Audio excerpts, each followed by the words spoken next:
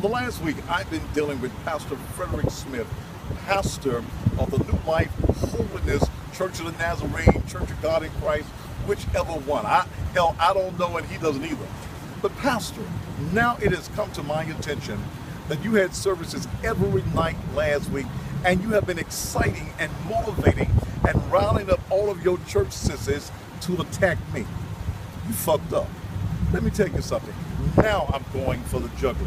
And I want all of your sisters in your church to know that I'm coming after you. I have nothing against a homosexual. Whoever a man or a woman decides to lay down with, that's their business. But when you, as the man of God, you want to tell everybody else that they're going to hell, but you got a mouthful of dick, something is wrong with you. Or you want some dick in your ass, something is wrong with you, and it's time to bring you down.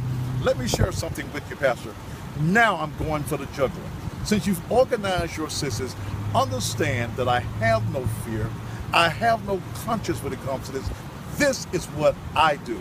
I'm quite aware now that the biological mother of that little girl that you're trying to adopt has hired a lawyer, and her lawyer has called your lawyer and said, because you have a deviant spirit, you have a demonic spirit in you, that you are a sissy, you don't like me, women really. I don't know why you're married to that woman, but you've got a thing for little boys. She now wants to question whether or not she should allow you to adopt that little girl.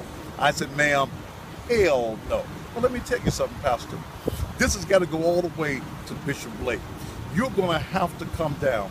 You can no longer just preach the word of God, pastor in this town, and you like dick in your mouth and dick in your ass.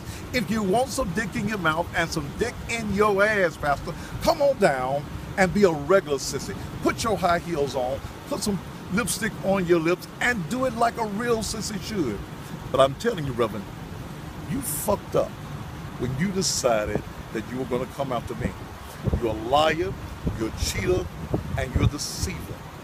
And when your sisters came at me, it's no longer any mercy. I've had ministers, I've had others saying, give you some mercy. Now, I'm bringing you down any way I have to. And to your church sisters, I'm going to put them on blast. And by the way, Pastor, I saw the video, and I'm going to be playing it tonight on the Thaddeus Matthews show, where your wife was preaching, and she called for all the homongers to come up. All the women came up, and then she asked for all of the lesbian spirited women. Half the damn women in your church got up. Guess what?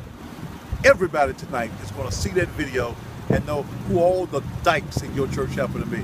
My name is Thaddeus Matthews, I'm just about to show you how bad I am.